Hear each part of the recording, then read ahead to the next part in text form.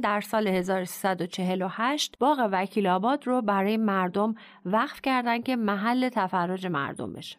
یا در سال 1340 مزارعی رو در روستاهای مختلف وقف کردند. این کار رو قبلتر هم در منطقه فخرآباد برای رفاه و زندگی بهتر مردم در سال 1334 انجام دادن. اما خب بزرگترین و معروفترین وقف ایشون اهدای زمینی در باغ ملی در سال 1323 هستش که امروز به موزه و کتابخانه ملی ملک معروفه.